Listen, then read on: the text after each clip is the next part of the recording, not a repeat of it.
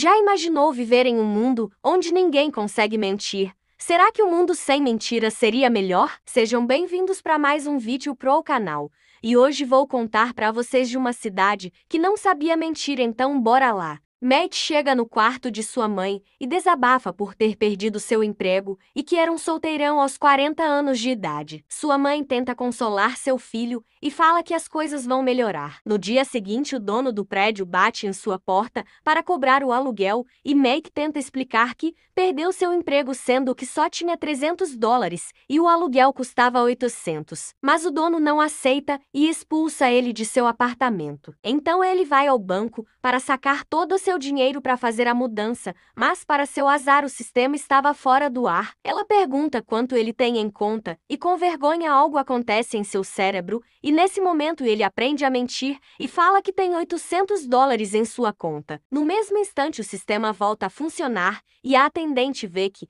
ele só tem 300 dólares em sua conta, mas como ali ninguém mente, ela acredita que houve um erro e lhe entrega os 800 dólares e logo ele sai todo feliz. Então ele descobre que pode mentir para conseguir o que quer e logo paga seu aluguel. No dia seguinte, Mac se depara com uma moça linda e para sair com ela ele fala que o mundo vai acabar em oito minutos e assustada ela pergunta se dá tempo de ir em um motel. Ao chegar no motel, ela começa a tirar a roupa desesperada, com medo do mundo acabar. Mac ao ver isso, Logo se sente culpado e pega o telefone e conta outra mentira dizendo que a Nasce falou que o mundo não será mais destruído. E com isso Make deixa ela sozinha no quarto de motel.